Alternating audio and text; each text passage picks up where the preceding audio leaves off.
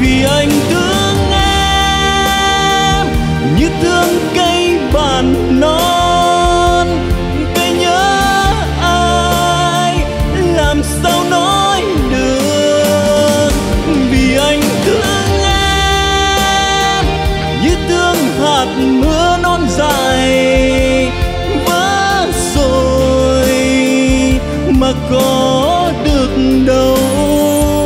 Hoa Sen Home hân hạnh đồng hành cùng chương trình.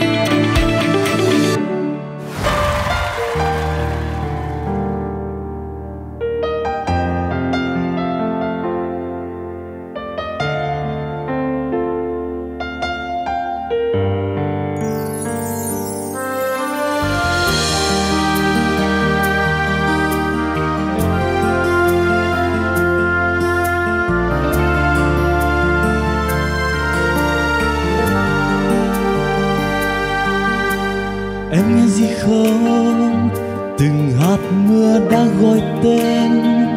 Anh bỗng thấy thương cây vàng non, thương chiếc bóng cô phòng. Đâu là cô đơn? Nếu mình nghe nhau trong hạt mưa, Nghe tiếng khóc mưa rơi, Nghe tiếng mưa cười và tiếng trái tim từng đêm trên lá bàn non. Em nghe gì không? Hỡi em. Vì anh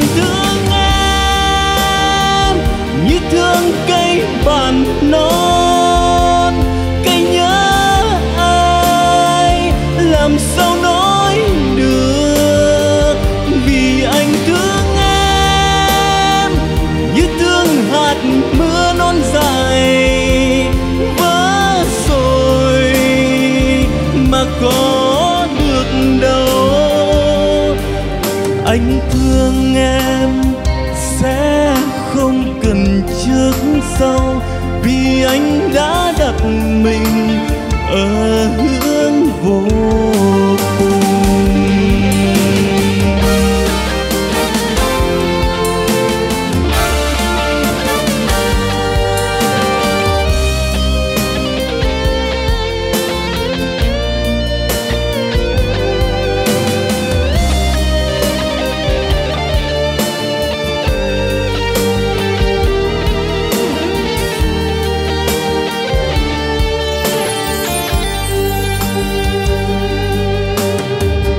cô đơn.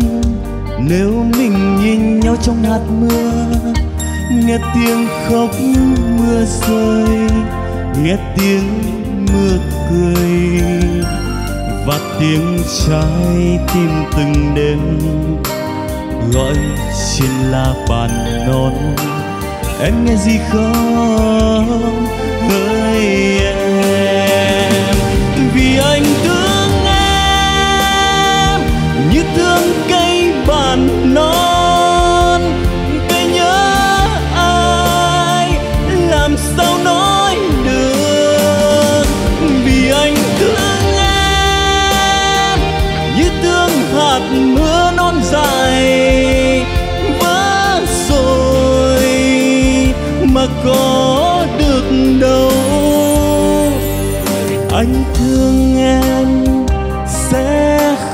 cần trước sau vì anh đã đặt mình ở hướng vô cùng.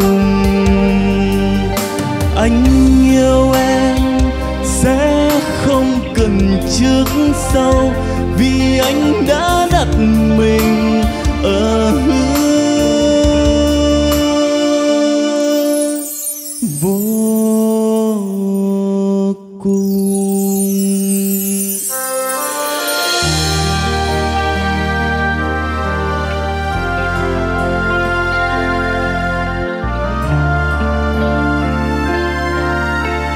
ở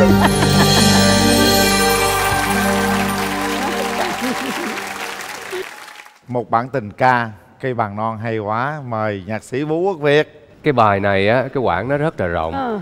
à, thấp thì thấp quá mà cao thì cũng ngút ngàn. Biết là nó cũng hơi đuối một tí ha tại vì biết sao không? Lo á rồi tập đi tập lại nhiều cho nên á lên mấy cái đoạn cao nó cũng hơi bị chưa có đã lắm nhưng mà không sao hôm nay là đã nhất mình hát hết tất cả những cái cái gì mình mình có rồi. Có quay qua hỏi hỏi việt sao mà bị đoạn đầu thấp quá vậy? Việt nói không lúc sau cao lắm thật sự là lúc sau rất là căng. Tuy rằng nó có hơi bị chỉnh choạng tí xíu nhưng mà thật sự là hiếu làm cũng rất là tốt. Phải nói là cái cột hơi cũng dễ sợ lắm đó. Và hiếu biết thả cái tình cảm vào á có những cái câu thả rất là hay. Nhiều khi trong một bài hát chỉ cần một lần hai lần thả gì nó chỉ cần ấn tượng với cái người đối diện là mình cảm thấy mình thành công rồi. Cảm ơn hiếu rất nhiều. Mời ca sĩ quang hà cảm nhận bài hát thế nào hát như thế nào? Bài hát này là một bài hát uh, tình cảm, pop ballad thuần túy nhưng mà nó khá khó cho những cái giọng hát mà có cái quãng hẹp bởi vì bài hát này khi mà nốt thấp nhất thì rất là thấp mà nốt cao thì lại rất là cao. Bản thân em khi mà hát bài hát này cũng khá mệt và khi mà hát những cái bài hát như vậy thì đặc biệt lại phải cần quan tâm đến cái cái tình cảm của bài hát. Vì anh thương em như thương hạt mưa non dại vỡ rồi mà có đường đâu anh thương em.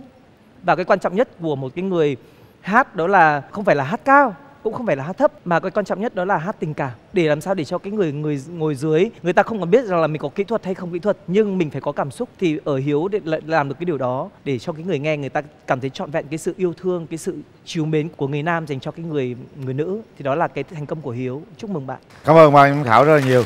À, xin mời à, hiếu về vị trí.